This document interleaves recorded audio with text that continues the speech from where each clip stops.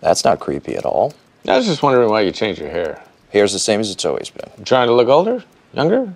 Whatever it is, it isn't working. Are you finished? Because I'm actually trying to catch up on some billables here. Hey, I just stopped by to give you a little gift for winning the Zane case. A gift? You've never given me a gift after a case. That's not true. Come to think of it, you've never even congratulated me, which means you're actually here because, oh my god, you miss me. I did not miss you. Are you. you okay? Do you want to come over tonight? We can watch Sleepless in Seattle.